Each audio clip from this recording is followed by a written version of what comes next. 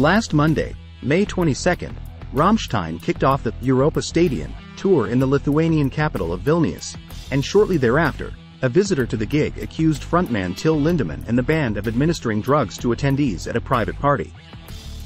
Throughout the week, numerous women came forward to share their experiences with Lindemann at multiple concerts. One of these women, Shelby Lynn from Ireland, took to Twitter and Instagram to report what she had gone through. She was on the guest list for the pre and after party, where only young women were invited and their phones taken away. Shelby claimed that drinks were distributed and Till mixed with the women and served them alcohol. She was then asked to meet with Till privately during a break in the concert, where she thought there was an expectation of sex, but she refused. After the show, Shelby experienced extreme symptoms such as insomnia, tachycardia, diarrhea, nausea, and chills, and upon waking the next morning, she found bruises all over her body. Read more at metaladdicts.com.